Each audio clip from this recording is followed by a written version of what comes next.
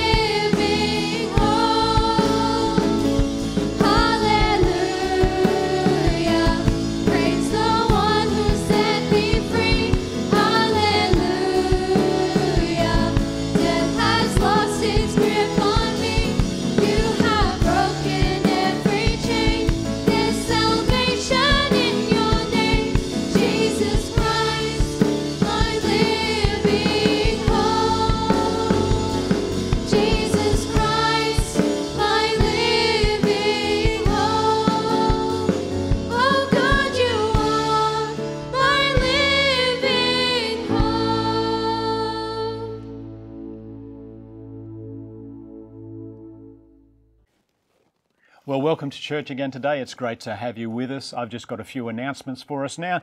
And first and foremost, I'd like to announce the special members meeting which is coming up on the 28th of June.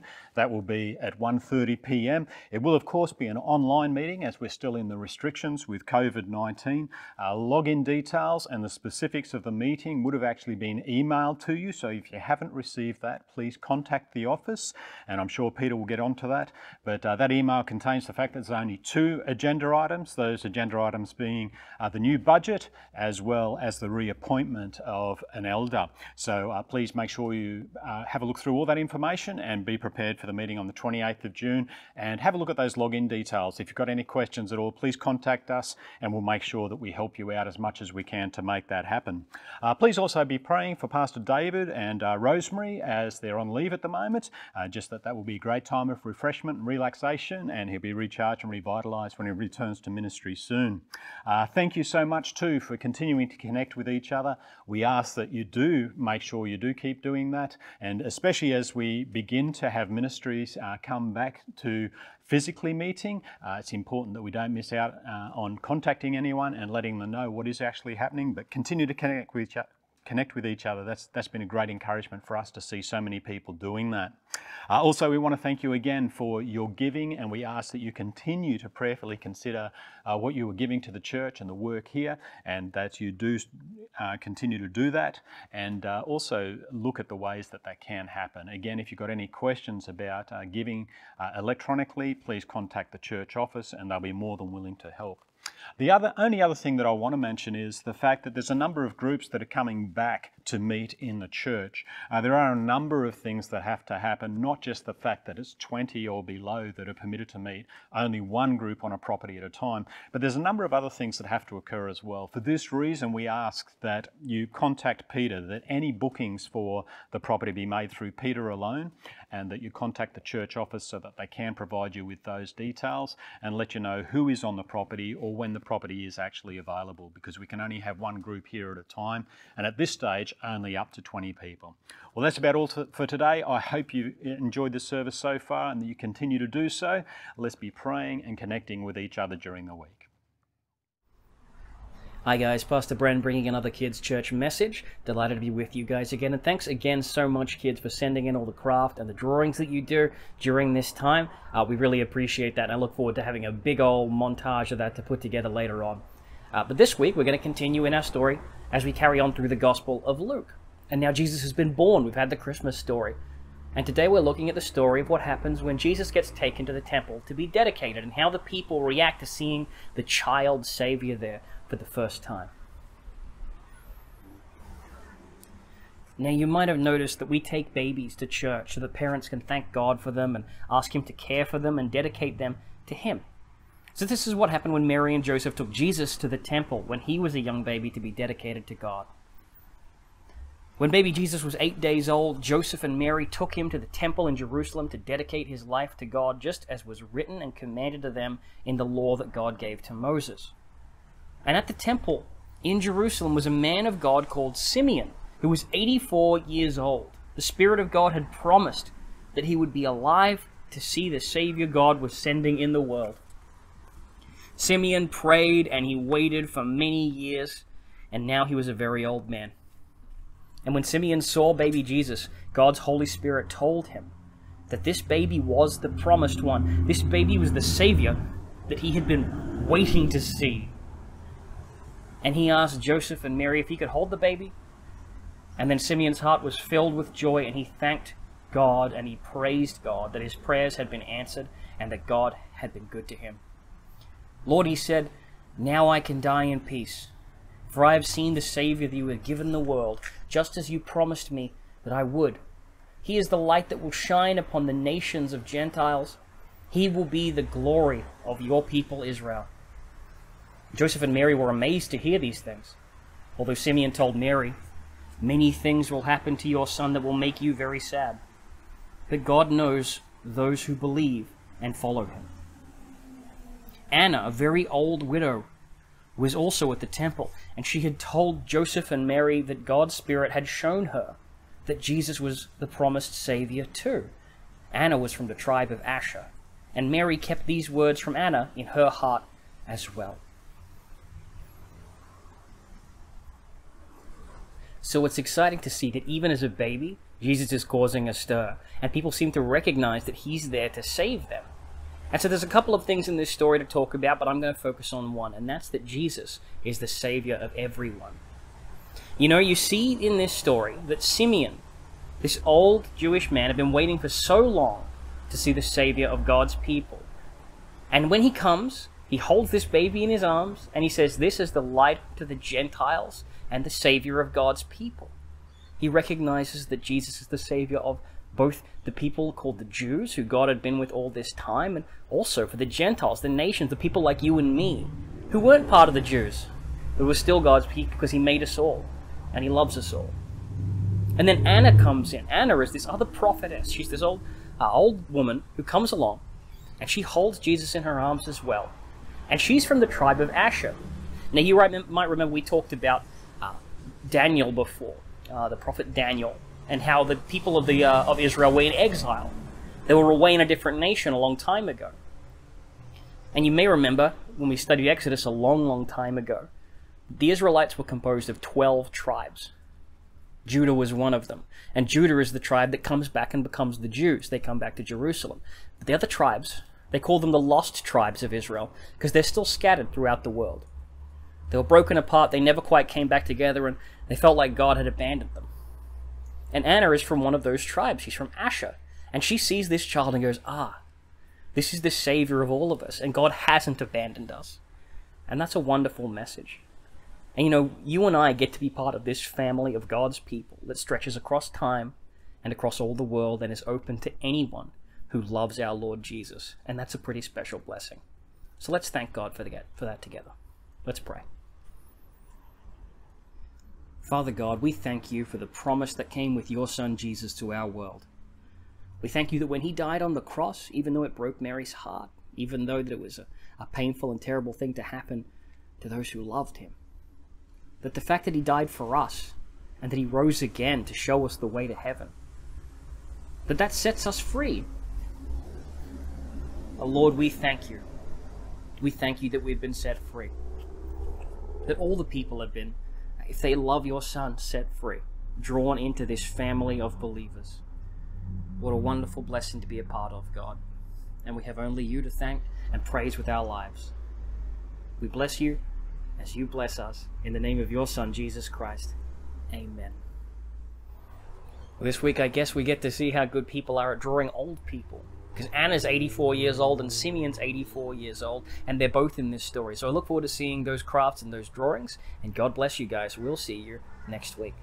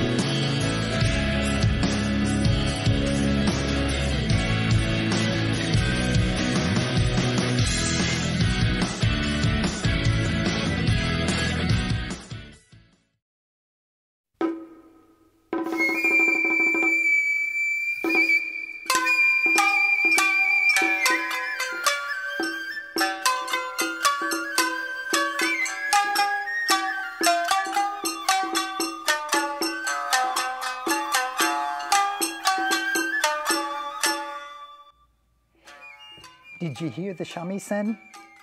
Did you enjoy the koto? Maybe there was a bit of uh, uh, taiko in that. I'm not sure. But anyway, I love the shakuhachi. That's the bamboo flute. I just needed to set the scene, do something Japanese. I don't have my yukata on, and I didn't know whether you'd recognize me. Um, so, hello, church. It's good to be, well, as much as I am here, it's good to be here. Um, I'm glad you're here. Um, there may be somebody here who says, Who is this guy? So let me introduce myself Gary Weston. My wife is Ruth, and we've been OMF church planters in Japan for like 32 years. Um, in 2017, though, we came back for what we thought was going to be a six month home assignment. Boy, did we get that wrong. In any case, um, that's a long story, but we'd like to say thank you. Thank you, thank you, thank you. Did you hear me? Because I want to say that again. Thank you. Church, you have been supporting us for like decades, and that's brilliant. That means a lot to us, and that's shown us something of God's faithfulness, and we really, really appreciate that. Um,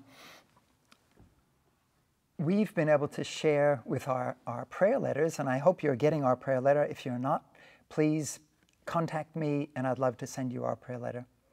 Uh, right now, obviously, we're not in Japan. We're back here in Brisbane, and we're doing what we call Diaspora Returnees Ministry, DRM for short. And what it means is we're reaching out to Japanese who are here in Brisbane. There are 5,000 residents of Brisbane who are Japanese. And then there are stacks and stacks of other Japanese who aren't residents. Think of the backpackers and the businessmen, think of the tourists and the students. So, anyway, we have a whole mission field right here. Pray for us that we'll be able to reach them. And uh, one answer to prayer, you've been praying for a long time because we've gone through a really difficult time. I mean, like, I couldn't believe. Um, for a couple of years since we've gotten back, uh, to do with Ruth's health, and now Ruth has got medical clearance. Did I hear you say hallelujah? I'm certainly saying hallelujah. It's great news. Um, I wish it was just as clear cut as that. Um, it's not like watertight compartments, like now she's got medical clearance and we're going to take off. Well, I mean, we, we've got to do it gradually, and there's always mm, the risk of relapse. And uh, it, it's a bit scary each step. We're taking steps of faith. But Ruth is so much better, so thank you for praying. Continue to pray for us. Um, yeah, and so we need your prayers to be reaching out to the Japanese. Every fortnight, we have what we call Japanese House of Peace. And whereas before, when we were not online, when we were meeting face to face, we could only meet with the people who were local. Now we can meet with Japanese people all over the world. It's great. Anyway, church, thank you. Thank you. God bless you. Let's just join together and pray.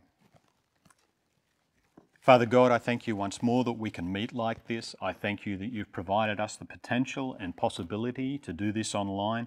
I thank you for all the people who are involved in making these services happen. I pray that your hand will be upon them. I pray your blessings will be with them. And I pray that they'll be strengthened and encouraged as they continue to do this for quite some time for us. Lord, I pray for all of those groups who are looking at coming back and meeting together physically. I just pray, Lord, that this will be a great time of excitement and celebration for them, and that we as a people will be able to facilitate that as much as possible. And that, Lord, we will be thank- very thankful to you for all that you've done for us, the way you've grown us, and Lord, that we'll appreciate uh, just how incredible it is to be able to meet together once more. Thank you that so many people are already doing this through their Connect groups. Father, I want to pray for a number of our young people who are facing assessments and exams and uh, the pressures that they're facing in the midst of that with online study rather than face to face. We just ask, Lord, that you'll reward them um, for the study and the effort that they've put in. That, Father, they, they will bring to mind the things that they need to in order to be able to complete their assessments. Father, we want to pray for so many of our people within our um, family at SDBC that your hand will be upon them as they look at relaunching their businesses, as they look at connecting again uh, with the public. Uh, we ask, Lord, that that'll be a seamless transition for them, and Lord, uh, that income will begin to flow for them again, and that, Father, uh, they'll be able to overcome any uh, hurdles or uh, potential. Uh, troubles that they may face, and that you again will bless them and bless their business as they serve our communities. More than anything, Lord, I pray for us as a people that you help us to be aware of the chances and opportunities that you present to us each and every day. Let us be a people who look for divine appointments, Lord. Let us be willing to step out in faith for you, Lord, and to encourage those around us to look into the truth of the gospel. Father, as we come back to meet as a people, help us to invite our friends, our family, our neighbours along to meetings where they can hear about you and the incredible things that you've done for us. Father, I want to thank you again for the income so many of us have and how well we live in the Western world that we're in. And we thank you, Lord, for the opportunity we can give back a very small portion of what you've blessed us with. I ask that we will give generously, but that we'll give cheerfully, Lord, that this will not be a burden to any of us, and that we'll honour and glorify you through what we are willing to give. So, Father, for these gifts, we ask that uh, you will use them to further your kingdom on this earth. Uh, as they go to the mission field, as they support this building, Lord, as they support the church, and that we'll see more brought into your kingdom as a result. We pray this now, Father, in Jesus' name, and for his sake. Amen. Bless you, one and all. Thank you.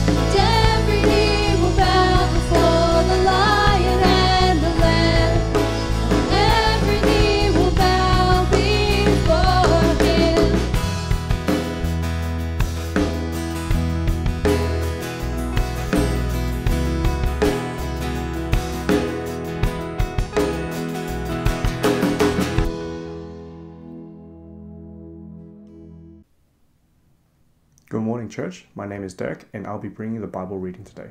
The Bible reading is Zephaniah chapter 3, and I'll be reading from the NIV. Woe to the city of oppressors, rebellious and defiled. She obeys no one, she accepts no correction. She does not trust in the Lord. She does not draw near to her God. Her officials within her are roaring lions. Her rulers are evening wolves, who leave nothing for the morning. Her prophets are unprincipled, they are treacherous people. Her priests profane the sanctuary and do violence to the law. The Lord within her is righteous. He does no wrong. Morning by morning he dispenses his justice, and every morning he does not fail. Yet the unrighteous know no shame. I have destroyed nations. Their strongholds are demolished. I have left their streets deserted, with no one passing through. Their cities are laid waste. They are deserted and empty. Of Jerusalem I thought, Surely you will fear me and accept correction. Then her place of refuge will not be destroyed, nor all my punishments come upon her. But they were still eager to act corruptly in all they did. Therefore, wait for me, declares the Lord, for the day I will stand up to testify. I have decided to assemble the nations, to gather the kingdoms, and pour out my wrath on them, all my fierce anger. The whole world will be consumed by the fire of my jealous anger. Then I will purify the lips of the peoples, that all of them may call on the name of the Lord, and serve him shoulder to shoulder. From beyond the rivers of Cush, my worshippers, my scattered people, will bring me offerings. On that day, you, Jerusalem, will not be put to shame for all the wrongs you have done to me, because I will remove from you your arrogant boasters. Never again will you be haughty on my holy hill, but I will leave within you the meek and humble. The remnant of Israel will trust in the name of the Lord. They will do no wrong, they will tell no lies. A deceitful tongue will not be found in their mouths. They will eat and lie down, and no one will make them afraid. Sing, daughter Zion. Shout aloud, Israel. Be glad and rejoice with all your heart, daughter Jerusalem. The Lord has taken away your punishment, and he has turned back your enemy. The Lord, the King of Israel, is with you. Never again will you fear any harm. On that day they will say to Jerusalem, Do not fear, Zion. Do not let your hands hang limp. The Lord your God is with you, the mighty warrior who saves. He will take great delight in you. In his love he will no longer rebuke you, but will rejoice over you with singing. I will remove from you all who mourn over the loss of your appointed festivals, which is a burden and a reproach for you. At that time I will deal with all who oppressed you, I will rescue the lame, I will gather the exiles, I will give them praise and honor in every land where they have suffered shame. At that time I will gather you, at that time I will bring you home. I will give you honor and praise among all the peoples of the earth when I restore your fortunes before your very eyes, says the Lord. This is the word of the Lord. Good morning, everybody. Welcome to the book of the prophet Zephaniah we're looking at this morning. Zephaniah. His name means hidden one. Zephan, hidden, Yah, Yahweh. Yahweh is hidden or Yahweh hides. Talk about that in just a moment. Um, we're going to read a little bit of uh, Zephaniah this morning and work our way through the book. It's a very strong, very simple, but very clear and challenging book. so I invite you to pray with me and then we shall jump into this part of God's Word. Let's pray.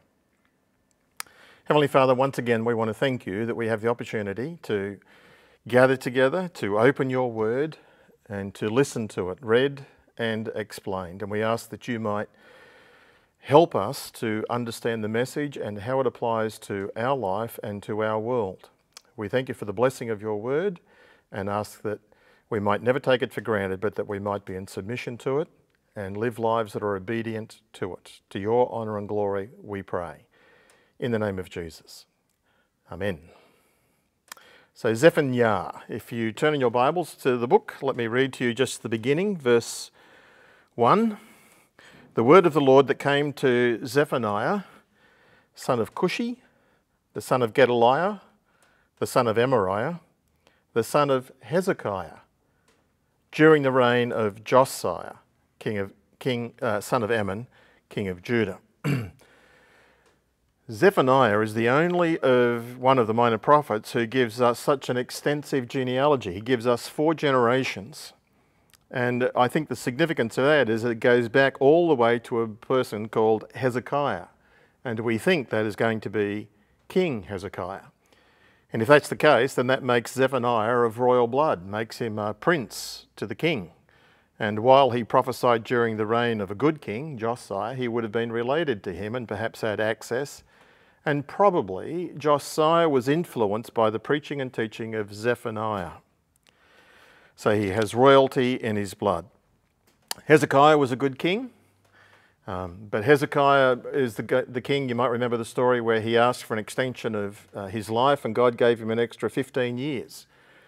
And the 15 years weren't used very well. During that time, visitors came from Babylon and uh, things were done and said that shouldn't have been done and promised. And, and then Hezekiah dies, and he's followed by an absolutely terrible king, one of the worst, Manasseh, his son. And Manasseh took Israel, Judah, back, back to idol worship, reinstituted um, altars throughout the land, and even reintroduced Molech, which is sacrificing children to this false god. They were into the fertility cults and astrology, and Manasseh was instrumental in that. In fact, the book of 2 Chronicles tells us that Manasseh had led Judah to be worse behaved than even the Canaanites before Israel came into the promised land, and God had removed them. And now here was God's own people who were misbehaving terribly. Isaiah lived during the time of Manasseh, and in fact, Manasseh was so bad, he forbade Isaiah from preaching and teaching. So Isaiah took to writing, and he wrote his prophecy that we have today, which is a magnificent book. But he was opposed by Manasseh, and eventually Manasseh arrested him, bound him, put him inside of a tree trunk, and then had somebody saw the tree trunk in half. Book of Hebrews, chapter 11, verse 37, refers to that, that it's referring to the death of Isaiah the prophet, who died in that manner. So Manasseh was a terrible king, reigned for 55 years, had such a bad influence on the people of Judah. And then when he passed away, he was succeeded by his son Ammon, who was a weak king and only reigned for a very short time, two years. And then he was assassinated. And then the next king was Josiah. That's the king that Zephaniah names in verse 1. Now, Josiah, when he became a king, you can read about this in the book of 2 Kings 22, 23, and following. Uh, he was only eight years old when he became king. Now, it's obviously too young to reign, and so Hilkiah, who was the high priest, was really the one in charge, and he was leading and discipling and mentoring Josiah until he came of age. And the question was would this king, Josiah, would he follow the way of his grandfather, Manasseh, or would he follow the way of his great great grandfather, Hezekiah? Well, in his teens, at about the age of 16, Josiah started seeking the Lord. And his heart was inclined towards pleasing God. And then as he became of age and started to assume more of the ruling responsibilities in Jerusalem and Judea, he started instituting change. The temple was in disrepair, so he enabled it to start to be repaired. And in that process, they rediscovered the book of the law, the book of Deuteronomy. Josiah read it, read God's word, saw how Judah had gotten off track, and he sought to institute reforms to bring them back on track. And in Jerusalem, he removed all of the idol altars, and then eventually, over the next few years, he extended that into the countryside. But it would appear that the reform was surface level, it was shallow, it didn't penetrate to the heart of the people. They were simply going through the outward motions. Um, the people's hearts were still inclined to doing their own thing and not submitting and doing God's way.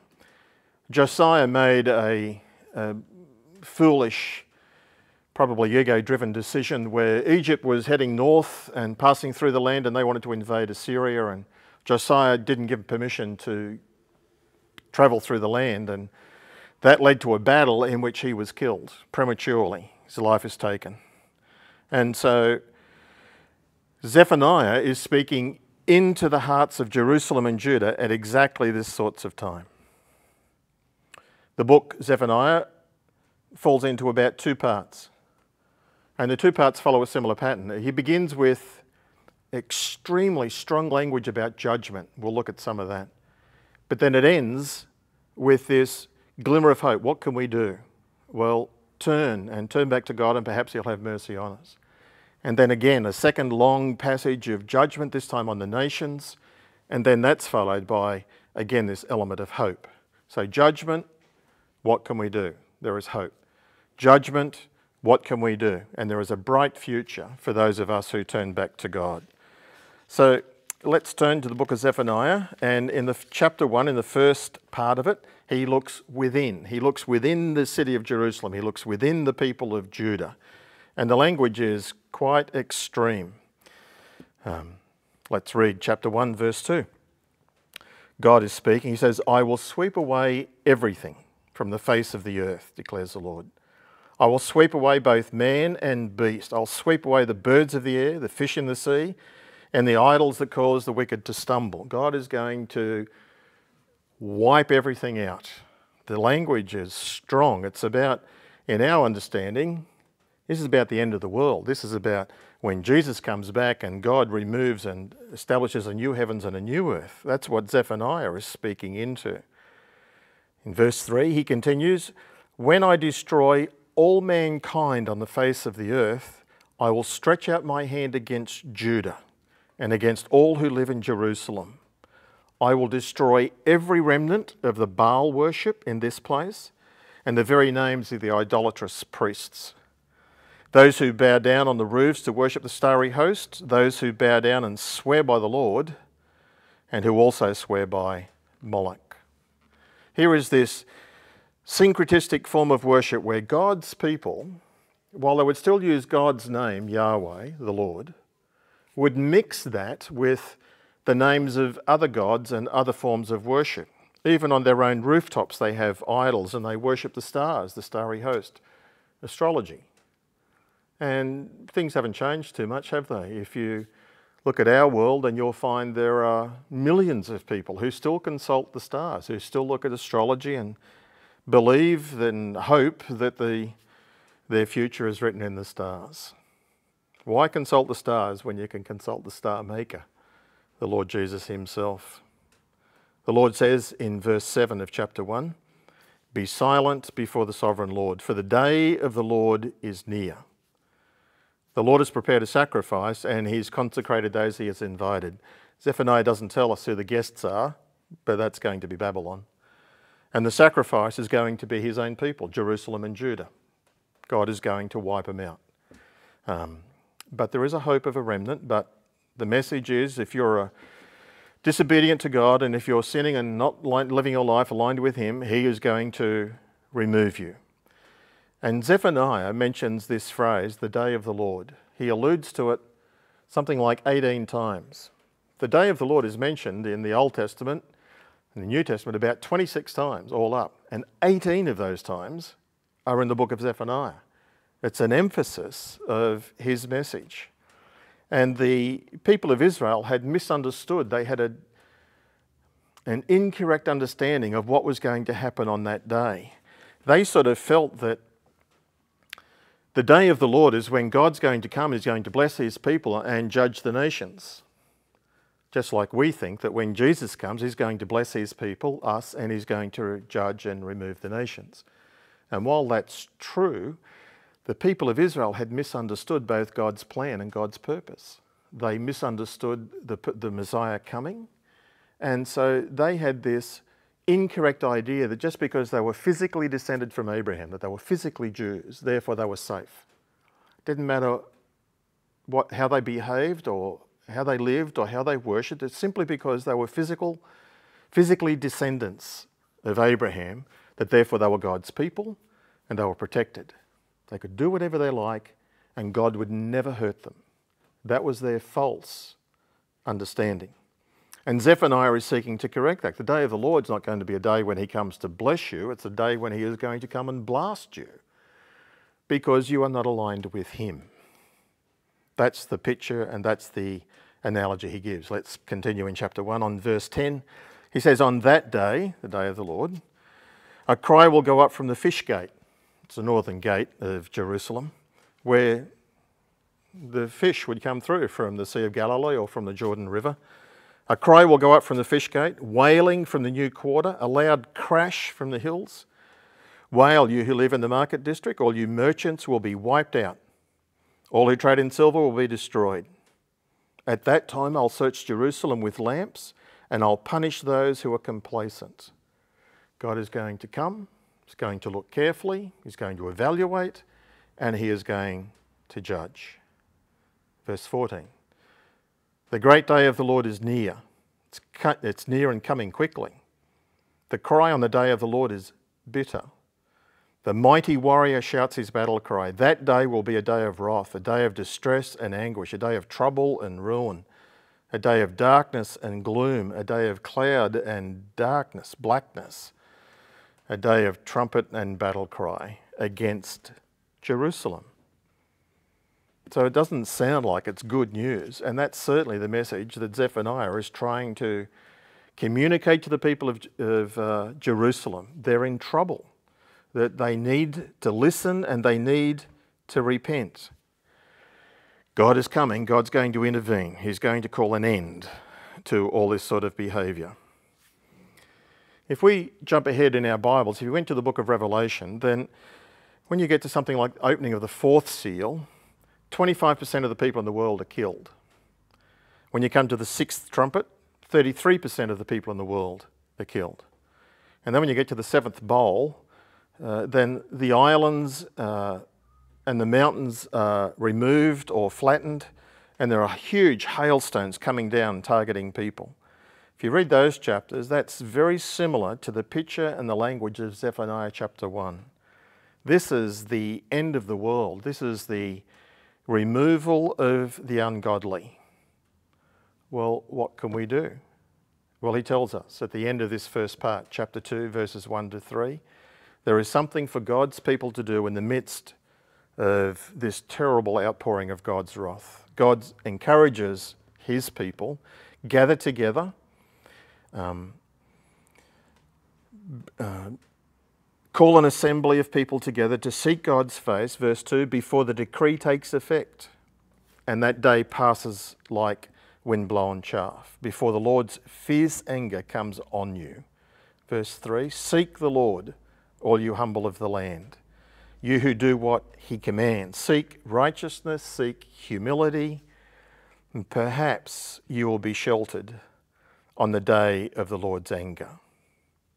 It may be gather together, pray, repent, ask God for mercy and forgiveness, um, seek righteousness, to do justice and to live rightly, and be a humble people before God, not proud and arrogant. And Zephaniah says, perhaps God will preserve you from it. Um, it certainly reminds us that when God judges, he does make a distinction. He doesn't just carpet bomb everything.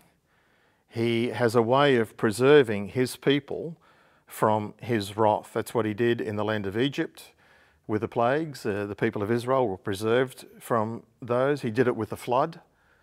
When God wiped out all life on the earth, he preserved his remnant, Noah, in the ark. And in the same way, God will preserve us as we are faithful and obedient to him, as we seek him faithfully, have faith in him, and are faithful in our lives. That's a look within. Uh, Zephaniah continues describing this terrible coming wrath, and this time on all of the nations. Now he looks around the city of Judah and he looks at in every direction. He looks to the west, he looks to the east, he looks to the south, and he looks to the north. And he names these different nations, and all of them at some point had hassled Judah or Israel, God's people, and all of them likewise were corrupt and wicked, and all of them will fall. God is the God of the nations. He's the one who has the casting vote. He is the one who determines the boundaries of the nations. He is the one who appoints governments. He is the one who raises up and who puts down. God is in control. And there is coming a day, Zephaniah is predicting, when God will pour out his wrath and his indignation. He'll consume everything, just like the flood. Only this time, it'll be with fire just like Peter says in 2 Peter chapter 3. Zephaniah is teaching us that God is intensely irritated. His anger is like simmering. It's heading for the boiling over bit, but it's, right now it's simmering. And there is still time to repent. Um, and if they don't listen, if they don't pay heed, then God's anger will continue to grow and it will simply boil over. And the book of Zephaniah is describing for us that boiling over of God's anger, of being poured out.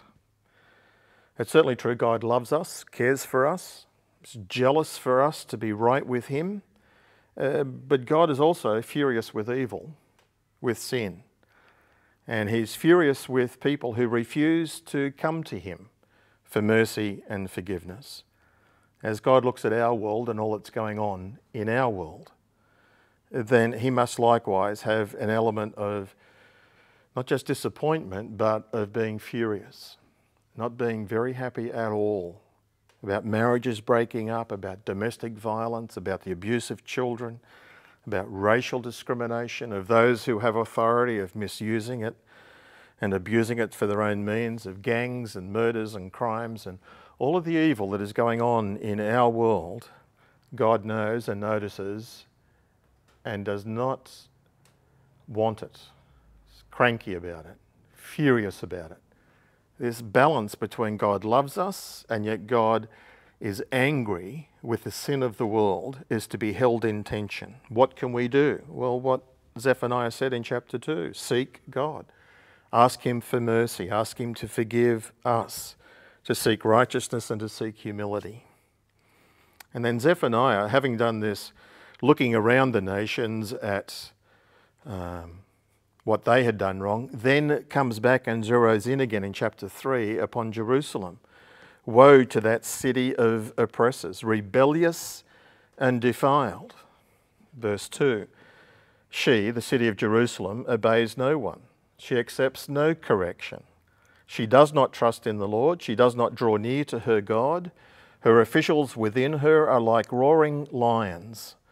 Her rulers are evening wolves, they leave nothing for the morning. What does that mean? Zephaniah likens the leaders, particularly of Jerusalem, to these ravenous animals, lions and wolves, who eat everything that night. They're not concerned about the morning, they're not concerned about the future. They're concerned about now and satisfying their own whims and their own things. They have no concern for the future or for the next generation.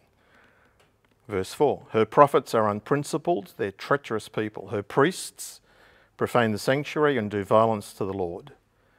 The Lord within her is righteous, and he does no wrong. Morning by morning he dispenses justice, and every new day he doesn't fail. Yet the unrighteous know no shame, forgotten how to blush. They get away with it, they're proud of it, and they encourage others in doing it. So, what does God say? Verse 6 I have destroyed nations, and their strongholds are demolished. I've left their streets completely deserted with no one passing through. Verse 7 Jerusalem, I thought, surely you will fear me and you will accept correction. And then her place of refuge would not be destroyed, uh, and not all of my punishments would come on, come on her. But listen, but they were still eager to act corruptly in all that they did. God told them what to do, and they were absolutely eager to not do it, to do their own thing. Therefore, God says, verse 8, Therefore wait for me, for the day I will stand up and I will testify. I have decided to assemble the nations, to gather the kingdoms of the world, and I will pour out my wrath on them, all of my fierce anger. The whole world will be consumed by the fire of my jealous anger. The whole world. Every man, every woman, every child, every nation gathered together before him. The New Testament certainly amplifies that for us and the teaching of the Lord Jesus that when he comes, he'll sit on his throne and all nations will be gathered before him, and God will separate those who believe from those who don't believe. And those who believe will enter into a time of blessing. Those who don't believe will enter into a time of eternal punishment and woe. God makes a distinction when he judges, and God is going to judge. He's going to come and he's going to put all things right. He's going to settle accounts. He's going to examine our lives. He'll expose our sins and our secrets, and He will eliminate the guilty. What can we do? Well, seek God, repent, ask Him for mercy, seek His righteousness, and to do so in humility. So it's a very strong message of coming judgment and total annihilation. But at the end of it, Zephaniah ends on this remarkable description of the ultimate future. He's looked within and then said what we can do. He's looked around and then back at Jerusalem and said it's all over. But it's not the complete end. Chapter 3, verses 9 to 20 has this wonderful description of what lies ahead. So it's look within, look around. Now it's look beyond, look way ahead, what's coming. And the New Testament encourages us to do exactly the same. Verse 9 talks about international godliness. The nations are going to come to faith. Then I will purify the lips of the peoples, the nations, that all of them may call on the name of the Lord and serve him shoulder to shoulder. A time in the future will come when all nations will be pure in God's sight and will worship him, serve him, call on him. Everybody. This is the new world. If it's not the millennium, then it's the new age, the new heaven and the new earth. And God talks about this wonderful description that the fire that came to consume is also the fire that will purify. Um, while God will destroy the wicked nations, He will also transform us into a new nation, into one family, into one people of God. In verse 12, the Lord says, um, But I will leave within you the meek and the humble. The remnant of Israel will trust in the name of the Lord. They will do no wrong, they will tell no lies. A deceitful tongue will not be found in their mouth. Um, they will eat and lie down, and no one will make them afraid. A time of future security, of us being transformed by grace and by forgiveness, of God's work in our life. Zephaniah is looking ahead and seeing that. He's talking about the impact of the gospel. Verse 15 The Lord has taken away your punishment. Uh, The Lord, the King of Israel, is with you. Never again will you fear any harm. On that day, verse 17, the Lord your God is with you, the mighty warrior who saves. He will take delight in you. In his love, he will no longer rebuke you, but he will rejoice over you with singing. It's a remarkable verse that God will be not only with us and in our midst, that he will be our God and we'll be his people, but he will delight in us. And in fact, he will rejoice over us with singing. God will be singing for joy about us, his bride. And then in verse 20, he finishes with this again a wonderful promise of God is going to gather all of the believers together. He's going to restore and he's going to honor them. This is the future kingdom age. Look beyond towards the end. God is in ultimate control. Regardless of what you think is going on in the world today, God will have his way. And Zephaniah fits into that picture of um, God's people had, in the book of Ezekiel, chapters 8, 9, and 10, the, the glory of the Lord had risen for, over the temple and had gone to the threshold and had moved to the gates of the temple and then to the gates of the city and then had left. God had left Jerusalem. Well, in Zephaniah, in this last bit, it's God is going to be returning. And when he returns, he will judge the nations and he'll restore his people as one on a new heaven and on a new earth. Zephaniah speaks of this God of judgment as well as this God of mercy, anticipating, as I said, the gospel. And so we have a choice. Which one will you choose? To ignore God is to choose His justice. What we need to do is to come to God and to repent and to ask Him for mercy. And only bad people do that. Only people willing to acknowledge that they're not right. And let me finish by simply saying this in heaven, in this new age, when God the King will be in our midst, when Jesus will reign from the city of Jerusalem, that heaven will be a multinational, multiracial um, gathering of people who are one family. And then we will all be colorblind, not literally, but relationally. Then there'll be no more discrimination and abuse, and then we will dwell in peace. And that's what the church is to be now. That we are to be a picture of that coming day, an example to the nations. So it's a wonderful book, and I commend it to you and ask, encourage you to read it a couple of times through and ask God to speak to you. It contains some great truths. And let me finish by saying Zephaniah's name means hidden by God. And I think what it means is his mother hid him during the reign of King Manasseh, when Manasseh was gathering up all the royal princes and offering them as infants and burning them to the god Molech. But Zephaniah's mum took him, hid him for a future time of ministry. Just like Moses' mother hid him, so Zephaniah's mum hid him. Hence his name, Zephaniah, the hidden one, hidden by God for God. So too for us, God has been overseeing our life and he wants to use us for his purposes. Let's submit to him and make ourselves available to him. Let's pray together.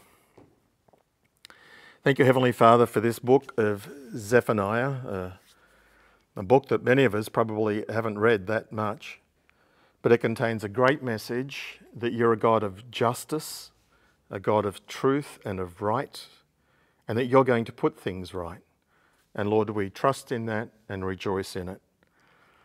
And we are grieved, like you are, at many of the um, injustices and cruelties and bad things that are happening right now in our world, and people seem to be getting away with it. But you will call them to account. So, Lord, we look to you.